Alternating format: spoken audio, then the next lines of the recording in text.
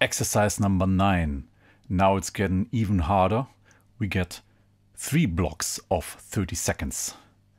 It's gonna be 16, 30 second, 30 second, 30 second. One, two, three, four.